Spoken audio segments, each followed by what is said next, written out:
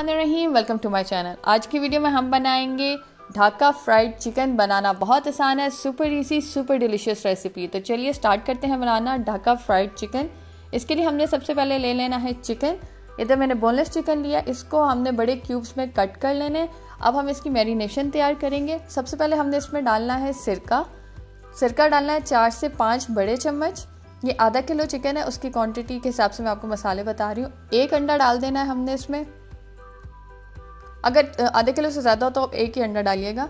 साथ ही नमक, अपने टेस्ट के अकॉर्डिंग डालें। मैंने इधर आधी चम्मच लिया है, एक बड़ी चम्मच मैंने लिया है चिली फ्लेक्स, कुटी लाल मिर्च, फिर हमने आधी चम्मच लिया है लाल मिर्च, आधी चम्मच गरम मसाला थोड़ी सी हल्दी, एक बड़ी चम्मच अदरक लहसुन का पेस्ट। अब हम इन सारी चीज़ों को मिक्स कर लेंगे अच्छे से। इसको आप अच्छे से मिक्स कर लें। इसके बाद हम इसमें बाकी चीज़ें ऐड करेंगे, ताकि ये इवनली स्प्रेड हो जाए।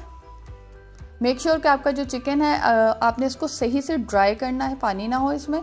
अब इसमें डालेंगे तीन बड़े चम्मच जो है, वो मैं तिल के ऐड कर रही हूँ।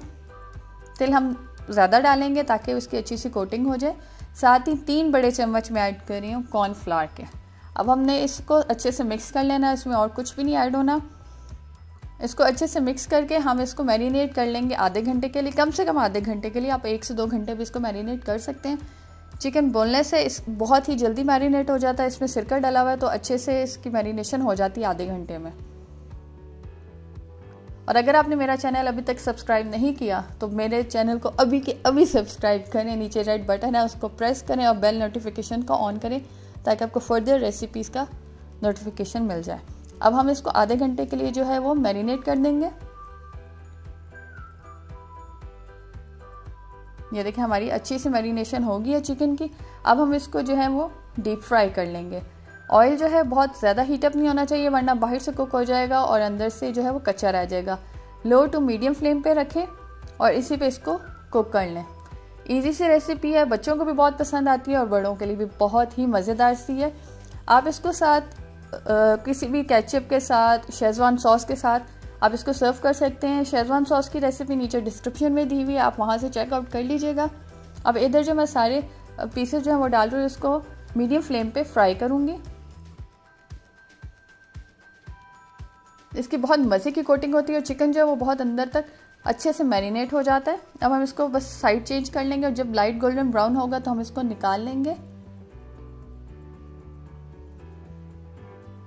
ये देखें हमारे यहाँ चिकन फ्राई हो रहा है।